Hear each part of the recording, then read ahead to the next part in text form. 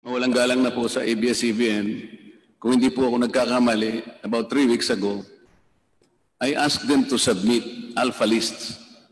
Kung naalala po ninyo, yung contribution nila sa SSS, contribution sa Pag-ibig Fund, contribution sa uh, employment compensation, contribution sa home development o itong Pag-ibig Fund, contribution sa uh, PhilHealth,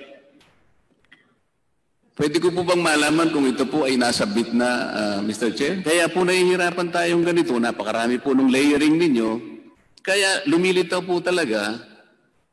Aba, hindi natin matukoy talaga kung nagagamit na circumvention ito hindi. Dapat kasi linawin natin. Ngayon, wala pong bibili.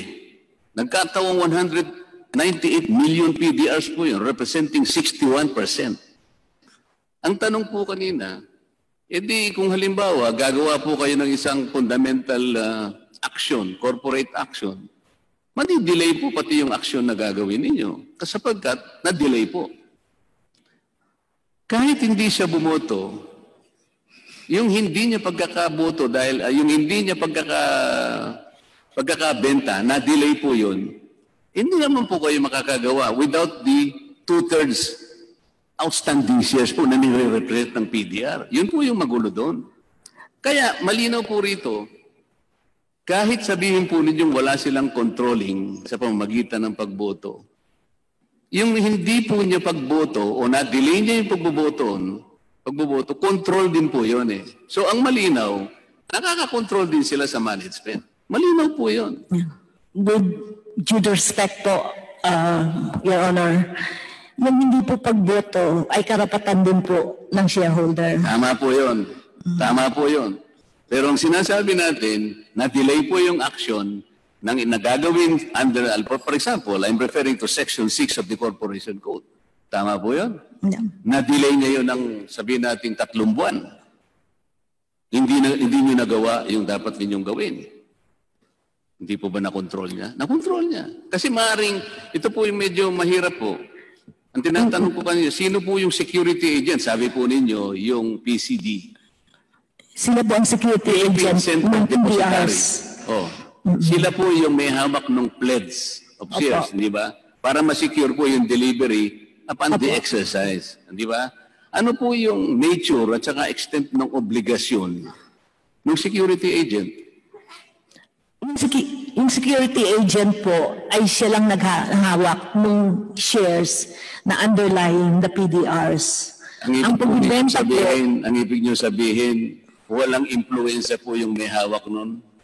wala po kasi hindi mo po sila, wala mo po silang karapatan na mag-influensya. Sila lang po yung nagkustodiya ng mga shares of stock para para din mo protektahan naman ang PDR holders. Kasi kung yung shares naman madidissipate, ma- mawawalan po din ng rights ang mga PDR holders. Sa Congressman lamang po yun. At Deputy Speaker Marcoleta, pwede po bang ah, ibigay niyo na po ang inyong huling katanungan para po mapagbigyan ng ah, daan yung linya po ng pagtatanong ng susunod natin na magtatanong na si Congressman P.D. Barsaga. Sabi po ni Congressman PD, bibigay po niya sa akin yung panahon niya. Umiiling po si Congressman Barsaga. Well, I have been waiting for so long. So I will be waiting for the moment that my time will come. Although I was here as early as 12.30. Sige po, huling ah, huling katanungan po, Congressman Marcoleta. Mr. Chair, hindi po ako matatapos siguro kahit nabigyan. Siguro po mga 15 minutes po baka kaya ko pong tapusin.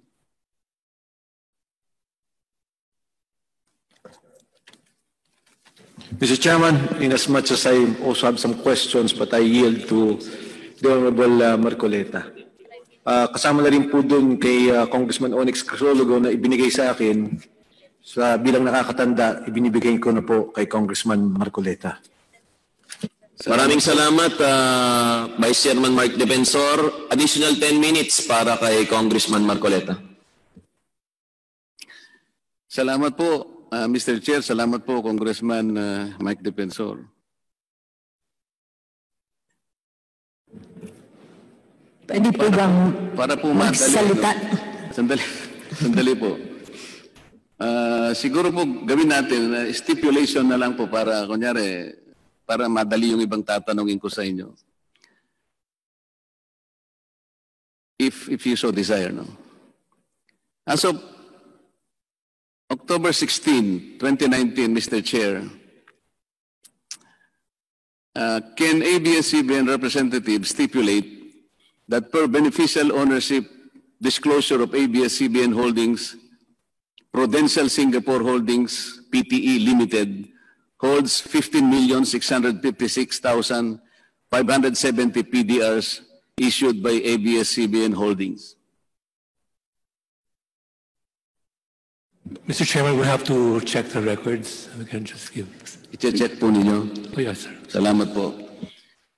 Mr. Chair, ABS can eh, ABS-CBN also stipulate that in May 2013, Mercury Media Holdings Limited, an affiliate of the Capital Group companies, acquired PDRs issued by ABS-CBN Corporation from Marathon Asset Management LLP, costing some 2.3 billion pesos.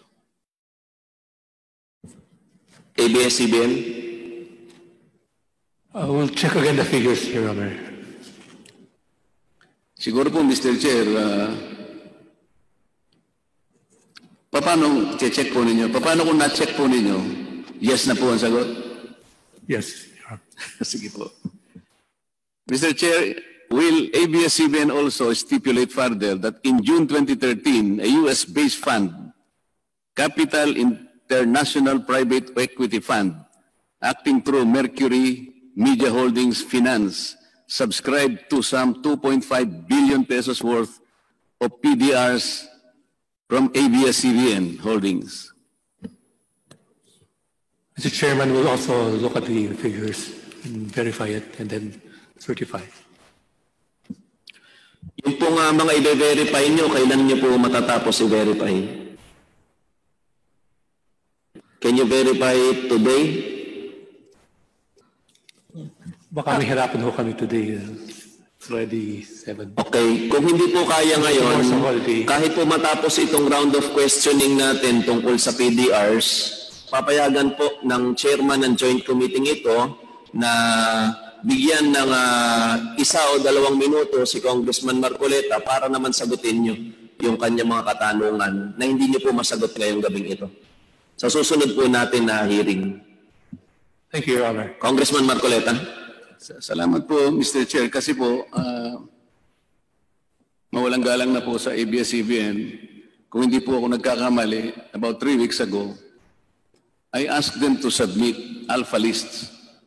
Kung naalala po ninyo, yung contribution nila sa SSS, contribution sa Pag-ibig Fund, contribution sa ah, employment compensation, contribution sa home development o itong Pag-ibig Fund, contribution sa uh, PhilHealth. Pwede ko po bang malaman kung ito po ay nasabit na, ah, Mr. Chair? Ah, Congressman Marcoleta, hindi pa po na-submit ng ah, po eh. ABS-CBN ang mga documents na ni-request natin at ah, pwede po kayong mag-motion na pasabpina na natin yung ah, mga documents natin na yun. Pwede po nating gawin yun, pwede rin nating hindi gawin sapagkat alam naman natin kung talagang katotohanan po yung kanilang ah, gustong malaman. Dahil sa palagi po nilang sinasabi na 11,000 ang kanilang mga regular employees, yun lamang po kasi ang makapagpapatunay kung ano, sino talagang nagsasabi ng totoo, kung 11,000 o hindi 11,000. Tatlong linggo na po kasi yun, Mr. Chair. Eh. Sa mga tuwid, kung makakakuha tayo ng commitment sa kanila, na ibig, napakadali naman po nun. Eh. Maaari po ba namin mahingi po ang commitment ng ABS-CBN?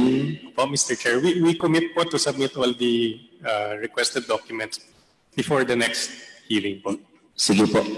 Inaasahan po namin yung ah, submission po na yan at ah, dahil po hindi nyo rin po na-submit at hindi rin masagot, papabayaan po ng chairman ng ah, joint committee ito na muling itanong ni Congressman Marcoleta yung ah, kanyang katanungan ngayong gabi. Maikling-maikli lang po, Congressman ah, Marcoleta, sa susunod po na hearing natin kahit po ibang issue na po yung pag-uusapan natin. Congressman Marcoleta? Salamat po.